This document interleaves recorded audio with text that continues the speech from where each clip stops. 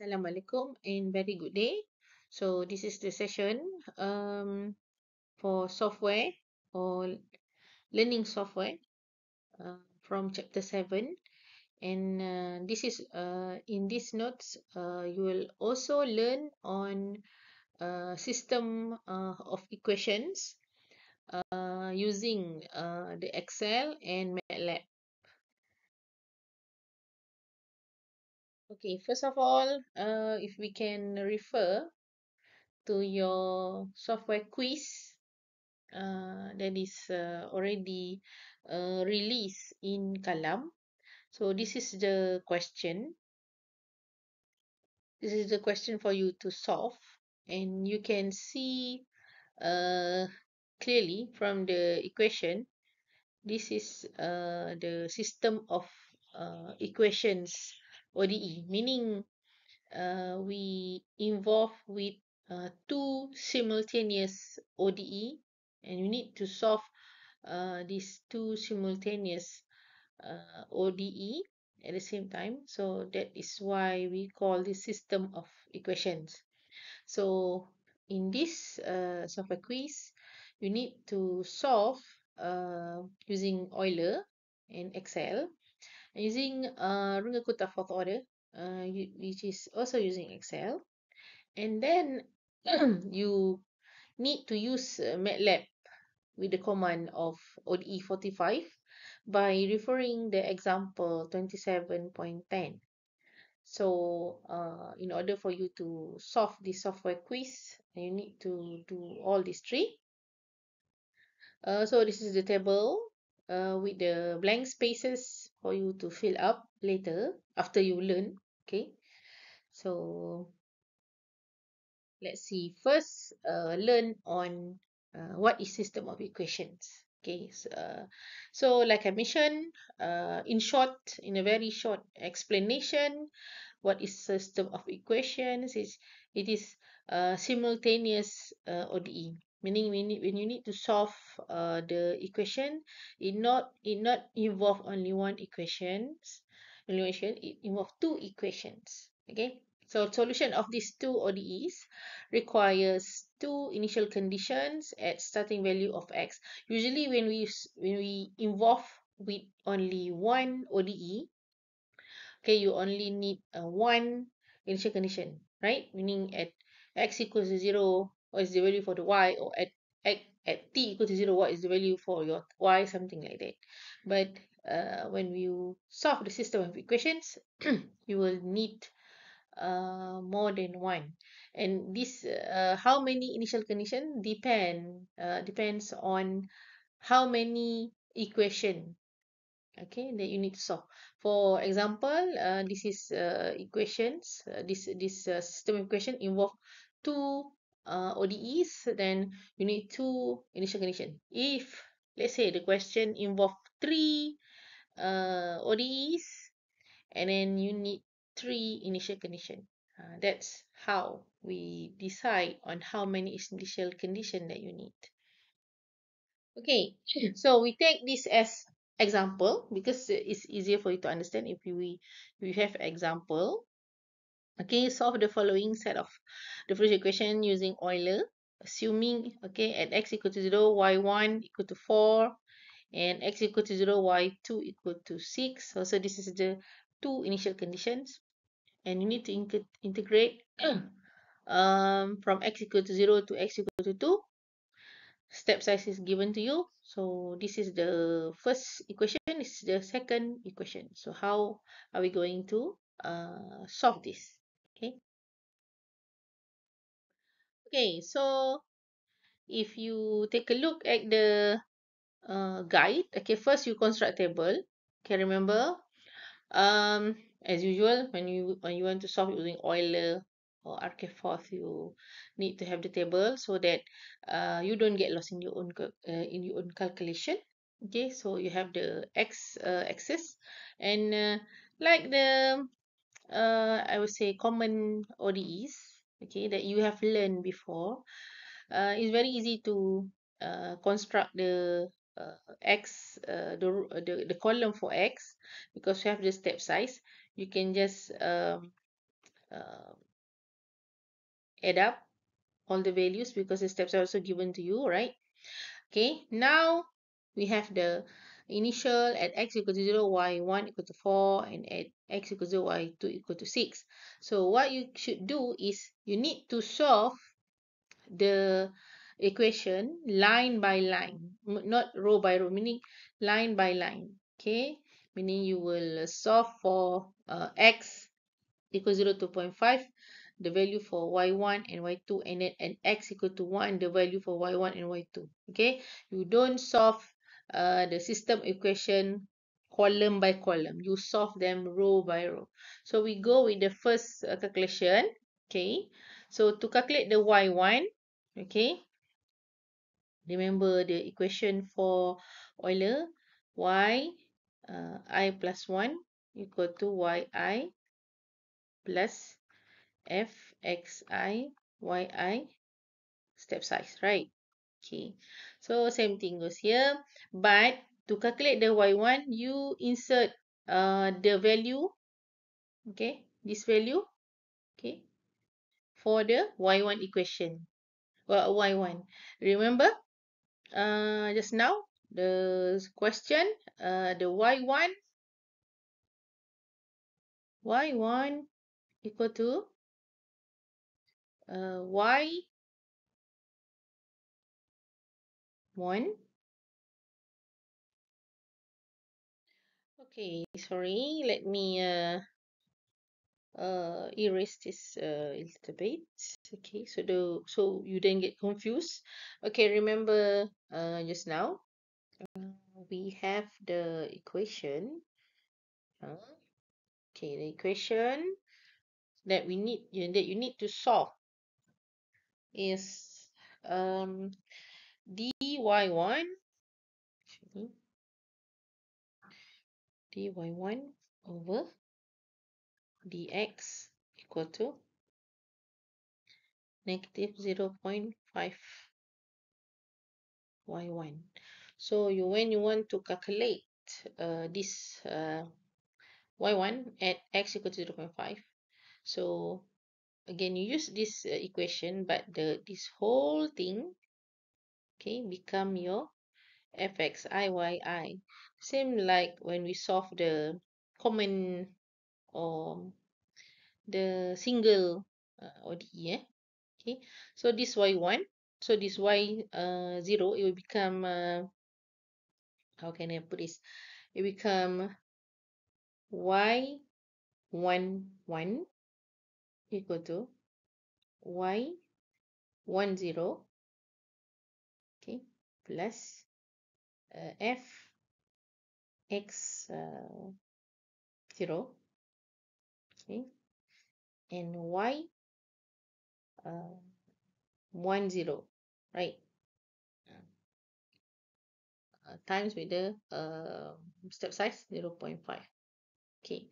So that's why we get uh, when you want to calculate this okay y 1 0 is 4 here okay plus this uh, equation. So the, we put uh, it here. So 0 0.5 times with y uh, 104 right? And this is the step size. So you get it 3 so you put it here. And then when you want to calculate the y2 okay remember just now the equation for y2 is uh, d y2 over dx equal to 4 minus 0 0.3 y2 uh, min, uh, y2 minus 0 0.1 0 0.1 y1 okay. So this is the part this is the equation okay that you put it here. See the similarity? 4 minus 0 0.3 y20 6 which is 6 here okay minus 0 0.1 y10 y10 is 4 here Okay, so when you put it in the equation, you get 6.9 and you can put it here. Then you can continue with uh, y1, 1, okay, and y2, 1. Okay, so you can uh, continue the calculation. So that's what I mean by calculating row by row. Okay, that is uh, using Euler. So how are you going to do if you need to use RK4?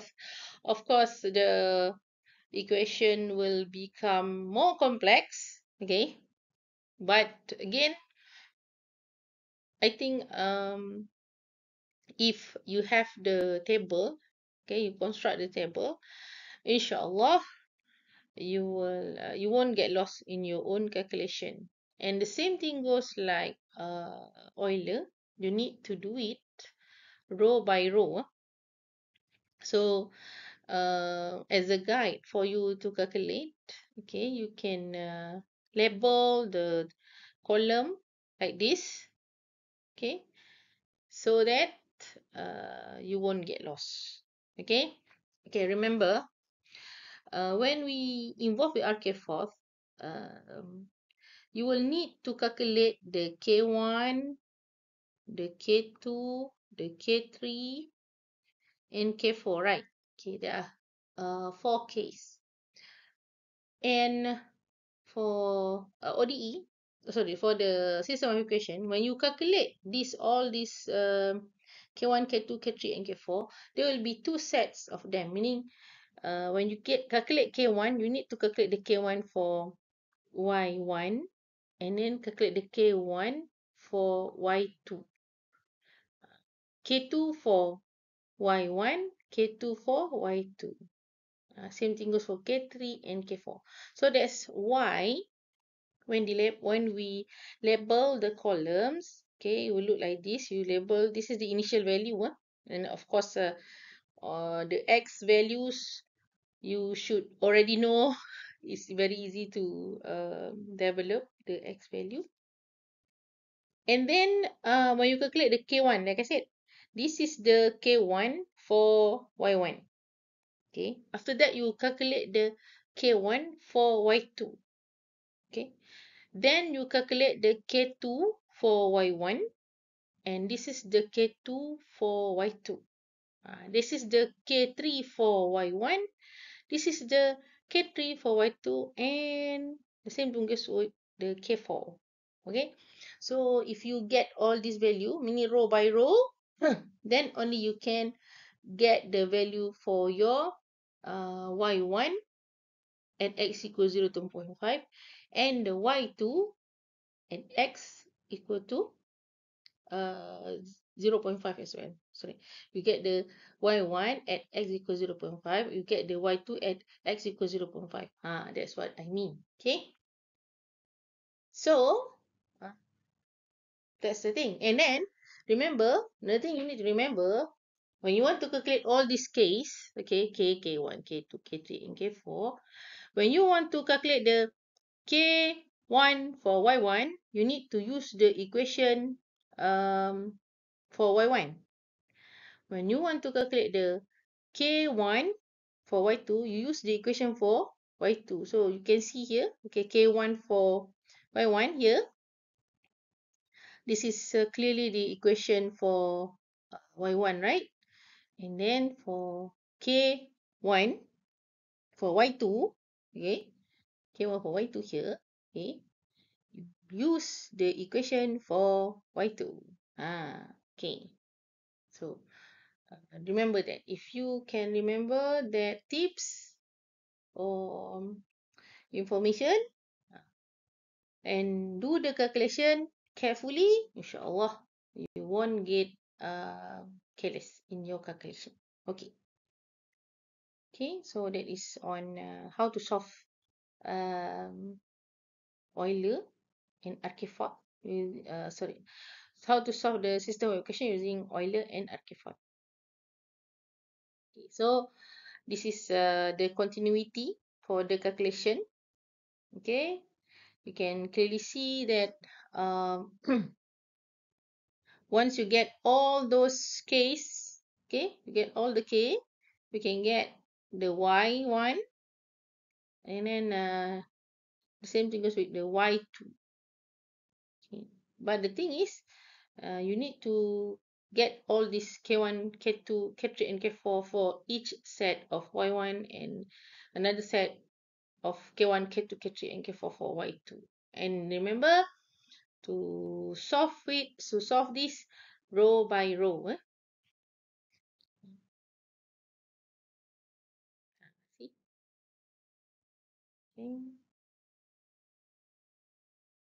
okay so now we go to another part for the lesson where you need to use MATLAB. Okay, just now when you solve the system system of, equa- of equation using Euler and uh, Archimedes, you can easily construct the uh, table in Excel. Okay, and then uh, you can just insert all the equation in Excel and then you can calculate. But uh, if you use MATLAB, like I mentioned, you need to refer example 27.10. This is uh, you can get this um, example from the our textbooks. Okay, so the question, okay, um, the question almost similar like um, your RK4th. Sorry, um, the problem is um, almost similar. It's a, it's a problem with two uh, simultaneous ODE. Okay, this is the first one, the second one. Okay. And then you need to solve, okay, use ODE to solve from t equal to 0 to t20. Uh, okay. Use MATLAB. Of course, uh, the initial condition already given to you. Okay. So how are we going to do this? Okay. Let's see. Okay. So in the example already give you the solution. What you need to do is you can use it either MATLAB or Octave. For for me, I use Octave because uh, it's a free of charge uh, online uh, software. Okay. So uh, first of all, you need to in in order to use Octave, okay, you can refer my notes uh, on how to use Octave. Okay, you can refer the notes. Uh, I'm going to give you the notes on how to use Octave. You can uh, take a look at it. Okay, if you use Octave. If you use MATLAB, um, I think uh, it is still uh, using the same steps. First step, you need to create M file. Okay. And then uh, you need to insert all this uh, command. Okay, the command in the comma window. Okay, this is this one is in uh, M file. This is in comma window. Okay. So uh, remember if you make sure when you type the command, uh, you don't um, leave any extra spaces or let's say in the in the uh, apa in the coding you need to have the comma don't put the uh, the dot there and then this is the round bracket. Don't mistakenly put the um, square bracket something like you need to be very very careful okay? You need to be very very careful and precise when you want to do any um, coding lah in MATLAB okay so let's take a look um, how uh, how how it's going to look like in your octave. Okay so first uh, like i said create an m file. Okay just write it for my for my example i give uh, queen as my file. Okay so uh, when you use octave here okay make sure you type it on your own. You type it uh, alphabetical by alphabetical okay? Because uh, if let's say i know you later you will get these notes maybe you already have these notes uh, from somewhere. Don't just simply copy paste because if you copy paste uh, there might be uh, some extra spaces. So the best is you can type it um, alphabet by alphabet term by term lah uh, in the octave online. So just type it there okay. And then save. Okay then make sure the if you name this queen the file also need to be named queen lah. If you want the uh, function yp the name king you need to save it as king.m uh, something. If you put the different name it will be you will get the syntax error later huh? okay so first we uh, create the m file okay. After that you go to the command window here. Okay command window. And insert all these um command eh? put the tspan. The tspan meaning tspan meaning the range. Because you need to solve from x equal to 0 x equal to uh, sorry t equal to 0 to t equal to 20 right? And then for y0 this is the uh, where you put the value for your initial. Uh, and uh, remember in the question mentioned um, the initial is 1 for y1 1 for y2 also 1 okay? And then this is the command to use ODE 45 okay? Make sure you type it carefully and don't leave any extra spaces lah. And make sure you use the right bracket and inshallah if you uh put can type it precisely you can run the uh coding later. Okay so once you run because uh, we have this uh, semicolon here. Okay sometimes because you have this semicolon when you enter uh, the value for t and y won't uh, appear okay? But instead uh, because later you need to plot you just write plot ty and then you get this plot lah meaning if you do this exercise on your own okay and uh, I strongly advise for you to uh, do this example. And again, uh, please remember, this is the example. You need to do it. Okay. Once you understand, once you try the example, then you need to apply the skill, the knowledge on your on the your uh, uh software quiz chapter 7 okay meaning this is not the, don't get mistake this is not the answer this is not the answer for your software quiz if this is the answer for your software quiz, there's no meaning for me to give you the quiz. This is the example, then I'm teaching you how to do the example. Okay. Okay. So, uh, if you try this example, and then you plot you you plot ty1, you get this curve, meaning uh, you do it correctly lah. Then you can apply this uh, skill and knowledge to solve your software quiz. Okay.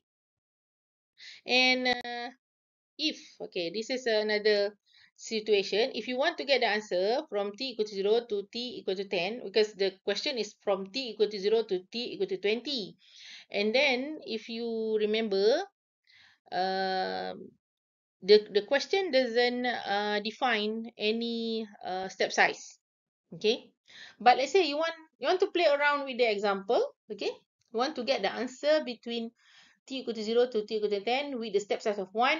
This is how you write the coding. Okay, you write the t-spine like this. And then, of course, you can, if you don't put that uh, semi, I don't know, this is semicolon. I don't know, semi, semicolon, I don't know what, what does it call. You don't put this uh, uh, the sign okay? You can uh, the the the the value for your t-spine will appear. If you put this sign it they won't appear lah okay? So again we have the we have the same um initial initial uh, value okay? Initial value same initial value. Again just uh write the command for the command for OD45 okay And then, uh, if you want to take a look at your answers, okay, so it will appear like this lah. So you, you write TY without the semicolon. Again, like I said, if you put this uh, semicolon, uh, the number won't appear. Eh? If you want to see the number, you just write it like this so you will you can see the number for your t okay zero one two because we already clearly uh, uh ask the software uh, to calculate uh, from 0 to 10 with the interval or the step size of 1 right? So t 0 to 10 and this is the value for y1 and this is the value for your y2 so this is like extra exercise if you want to play around with the coding. Okay i think uh, that's all for your uh, learning or for your learning on uh, software software chapter 7 meaning we already um, learn on a system of equations okay using uh, the Euler the Archimedes and also you also learn on how to uh, use the uh, MATLAB or specifically the command of ODE 45 so that's all. All the best for your software quiz and all the best for your software test as well. Thank you